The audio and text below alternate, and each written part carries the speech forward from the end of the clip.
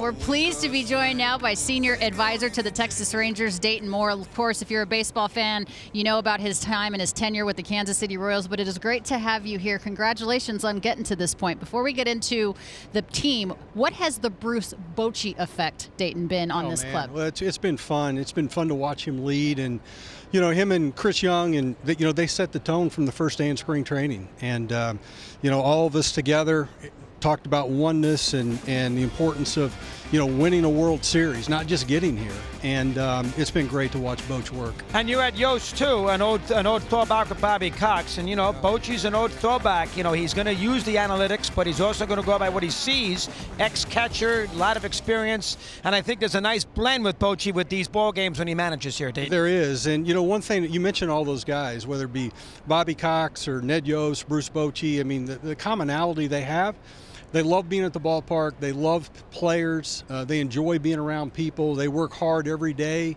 to create pathways for those important relationships to thrive. And and they but but again, they just love being here. They love being at the ballpark and and uh, they, and they want information. I mean, Boch wants information. He wants to.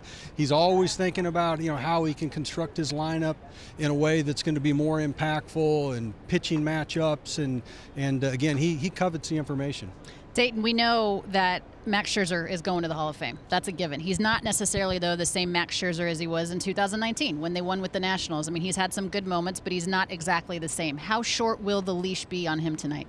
Well, I'll, I'll let Boch and, and, those guys talk, you know, talk about that. But uh, you know, it's it's been incredible watching him. I mean, he's extremely smart, highly intelligent pitcher, and really, really competitive, as you know. And you know, I, I you know, coming back. I mean, nobody expected him to be back mm-hmm. this year. You know, when he you know came out with the lat issue, and and to to his uh, credit, I mean, his determination and his desire to compete is why he's here right now. And I would never put limitations on Max Scherzer. Yeah, we'll see how he does tonight. And pitched pretty well in his ballpark, and of course uh, he's, he's, familiar with it. And he mm-hmm. pitched well for the Mets in a game in July, decently.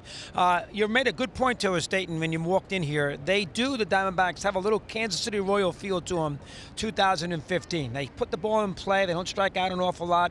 They're feisty. They play good defense. Team that you're not that familiar with. You had the experience because you had 14-2, so 15 when you beat the Mets. But there is a little some of those characteristics with this Diamondback team based well, on your team. You know, Mike Hazen's an incredible baseball man, and um, you know how he's constructed this team, and, and especially for this ballpark, action players. Uh, they obviously have great feel uh, to play the game, what they need to do to be successful. Uh, they're skilled players. Obviously, they run the bases well and fearlessly and their defense is spectacular. I mean, the, the play Alek Thomas made on Seager in in uh, in game two, and you know, just sitting there behind home plate, and Seager smoked that ball to, to center field, and he broke instantly on that ball and ran it down easy. And so, you know, they do a lot of things to put pressure on a baseball team, and uh, those are the types of teams that I think are the toughest to play. I knew the pedigree of Corey Seager when he came over here. It was a great signing for Texas because I had the pleasure of covering him when he was in Los Angeles, but I didn't know what we were going to get from Adolis Garcia and how much more gratifying is it Dayton to know that this was a kid that was DFA'd by the Cardinals. The Rangers DFA'd him as well, yeah. didn't clear waivers, and, and or he did, and then here we are, and he leads the postseason in RBI. I mean, what a how impressed have you been with just his maturation and development? Well, it's just you know the, you tell players this all the time that the only thing that matters is that they believe in themselves. The, you know, scouts. Uh, managers, coaches, front office, all their opinions are important, but the most important opinion is the player's opinion of self. And the fact that this guy loves to play the game the way he does, and just his desire to go out there and just be the best that he can is why he is where he is. I mean, he's that guy's going to play baseball until he's 40, 45. I mean, he's going to play. And, and that's why he's in this position he's in. And regardless of whether he was DFA'd or somebody gave up on him, the fact that he loved to play so much that he just keeps going and keeps grinding and keeps getting better. And, uh, you know, he obviously has a, a flair for the dramatic. He loves being in the moment. He has great star qualities, and it's, it's been fun to watch him compete. He's Cuban. Those are my people. Flair for the dramatic. Uh, much better on the road in the postseason than at home. I mean, you've lost four home games in the postseason, yet you haven't lost a game on the road in three different spots.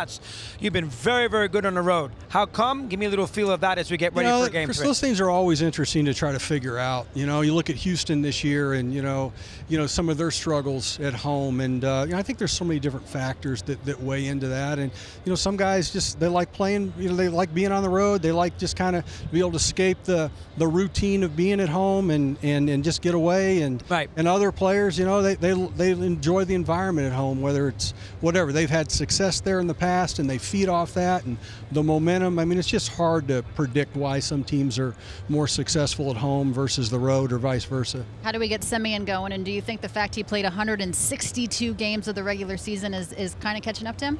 You know, I wouldn't say that. You know, he's he's one of the most incredible baseball players that I've been around. You know, watching his preparation and and you know who he is as a, a person and the the incredible routine he has uh, defensively and offensively every single day to prepare. I mean, that guy is uh, he's just so consistent and uh, really is a, the rock of of this team, in my opinion. And uh, you know, just his stability.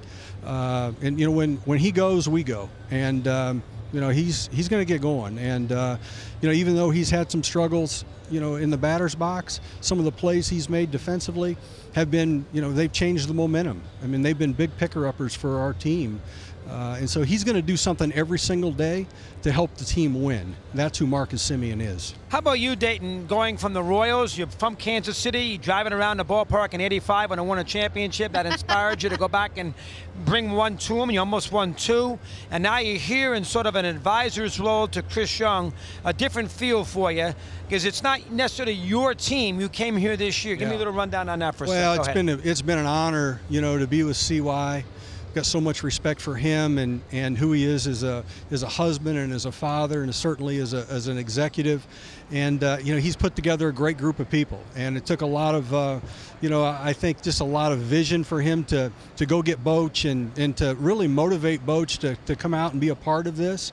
Uh, it, has been a joy to be with him, and I, I, I got to give a lot of credit to all of our player development people too. I mean, you know what Ross Fenstermaker's done, and Josh Bonifay, and uh, Kenny Holmberg, and and uh, Josh Boyd, and Kip Fagg, the scouting people that have put us in this position because you remember, I mean, the deals that we had to make at the deadline were only possible without but you know, those just because of prospects. the farm system. Absolutely and right. those guys did an incredible job, and to, to do to see what CY did with repair this rotation the way he did. Mm-hmm. We had a lot of injuries. Montgomery and people like that. I mean, we had a lot, yeah, we had a lot of injuries. this Oh, yeah, yeah, he lost and we DeGrom had to right away. the entire rotation and add to the bullpen. And without the great work of our scouting and player development people, Can't do it. It's not possible. No and so I, I credit CY for continuing to, to push the throttle down and, and continue to make moves and, and put this team in a position to, to be where we are. Well, Dayton, you are three wins away from another World Series championship for you, but also the first in Texas Ranger history. Thank great? you so much for taking the time to be with us today. We appreciate it.